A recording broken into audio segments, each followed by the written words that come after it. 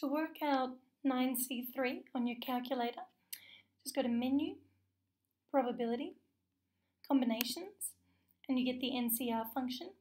So first you put in your n, which is 9, then you put a comma, then you put your r value, in this case it's 3, press enter, and you get 84. Now if you want all the coefficients, so then you could do menu, probability, combinations, and now our n is 9 again, comma, but now we want all the NCR values for r is 0 all the way up to 9. So it's like a set of r values.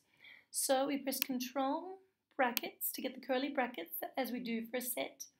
And we start at 0, then comma, 1, all the way up to 9.